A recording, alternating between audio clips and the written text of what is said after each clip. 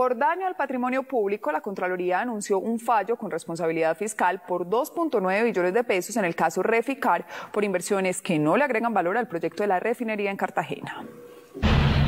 La Contraloría General de la República emitió fallo con responsabilidad fiscal en el caso de la modernización de la refinería de Cartagena Reficar, el megaproyecto de más importancia en el sector petrolero del país.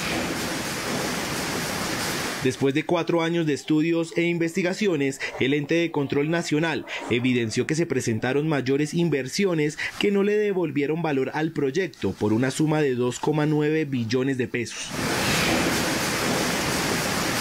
Según la Contraloría, el caso Reficar constituye el mayor daño al patrimonio público en la historia de Colombia y por este daño son llamados a responder fiscalmente dos presidentes, tres vicepresidentes, siete miembros de su junta directiva y cuatro multinacionales contratistas del proyecto que con ocasión de las acciones y omisiones contribuyeron a esta millonaria pérdida.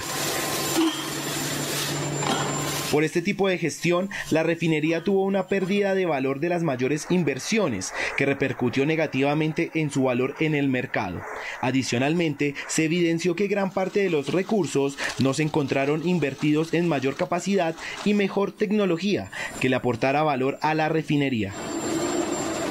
Algunas de estas mayores inversiones constituyeron en hacer dos veces el mismo trabajo, reprocesos, sobrantes excesivos en inventarios y gastos no asociados a la construcción de la refinería.